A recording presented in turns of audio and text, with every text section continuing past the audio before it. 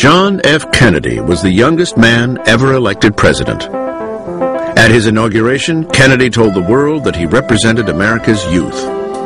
Let the word go forth from this time and place to friend and foe alike that the torch has been passed to a new generation of Americans. Kennedy's new generation was the youth of America. In them, Kennedy inspired hope and the promise of a better tomorrow. I've been through 10 presidents, almost 50 years of watching that White House, and that was special.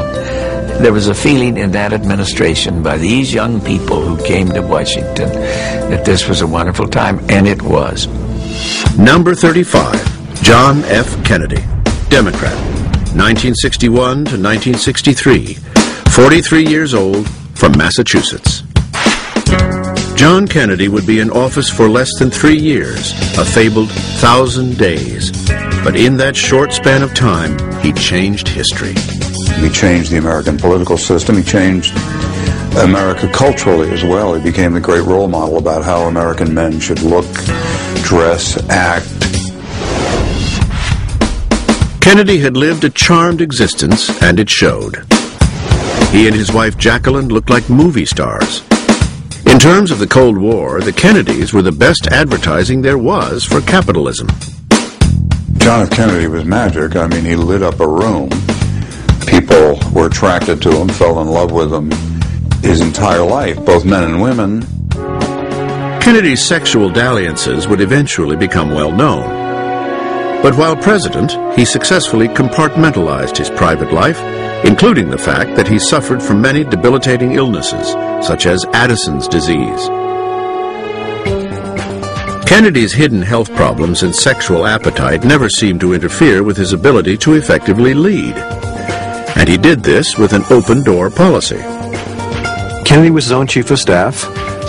He often described himself as uh, the hub in the middle of a wheel. Uh, he uh, wanted people coming directly to him and tell him the bad news. Among those who came to JFK early in his administration was the director for plans of the CIA. He wanted the U.S. to secretly launch a scheme known as the Bay of Pigs. The plan called for a group of Cuban exiles to overthrow Castro's communist regime. Kennedy okayed the operation. It was a disaster. Even more surprising was Kennedy's response. There's an old saying that uh, victory has a hundred fathers and defeat is an orphan. He thought the only way out was to take complete responsibility. I'm the commander in chief. I said this. Following the Bay of Pigs, we have a documented record of a president with a learning curve, a president who had changed his entire method of operating based upon the fact uh, that he bore sole responsibility for the failure at the Bay of Pigs. By accepting responsibility, Kennedy earned the trust of the nation. With that, he embarked upon a noble and far-reaching agenda to forge a better society.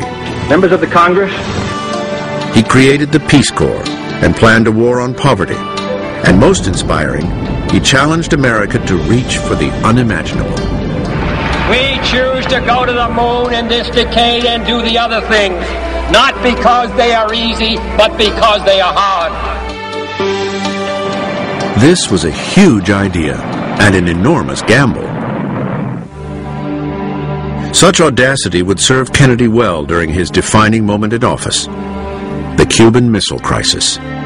On October 16th, 1962, President Kennedy called me in in the morning and said that he had received a briefing from the CIA which showed through aerial photographs that the Soviet Union had just placed or was in the process of placing in Cuba bases for medium and intermediate range nuclear missiles that were capable of delivering a nuclear payload almost anywhere in the United States.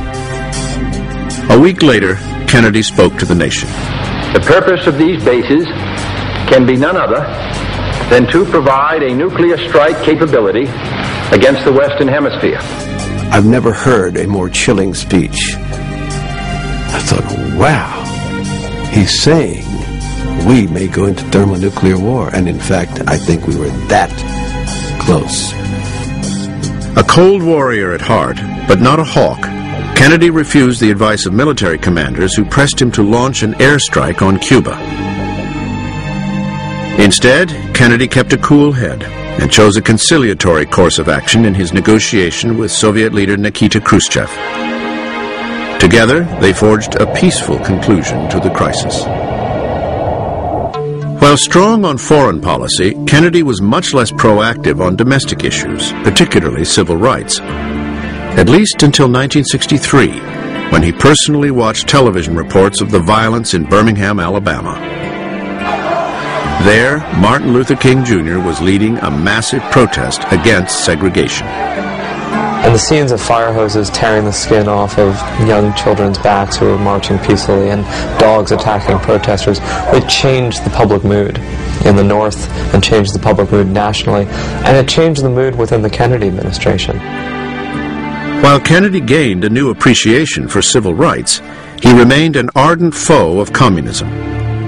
Late in his first term, as trouble brewed in Southeast Asia, he hoped to strengthen South Vietnam by overthrowing its tyrannical regime. On November 1, 1963, Kennedy approved the assassination of the President of South Vietnam. And from that day on, we owned Vietnam. Twenty days later, on November 21st, Kennedy visited San Antonio, Texas to join Vice President Lyndon Johnson at the opening of a new space facility. This nation has tossed its cap over the wall of space, and we have no choice but to follow it. The next day, he and Jackie went to Dallas. From Dallas, Texas, President Kennedy died at 1 p.m. Central Standard Time, 2 o'clock Eastern Standard Time, some 38 minutes ago.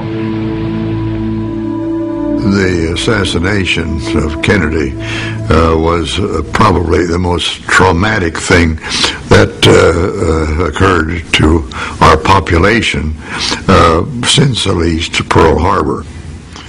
There's a lot of hope resting in his presidency that he had not yet realized that suddenly people were denied. The hopes and dreams Kennedy brought with him to the White House were enhanced by his martyrdom, making his presidential legacy grow well beyond his actual accomplishments in office the idealism, the commitment to public service, the desire that people should give something of themselves uh, back to America. I think these are some of the most important legacies of the Kennedy administration.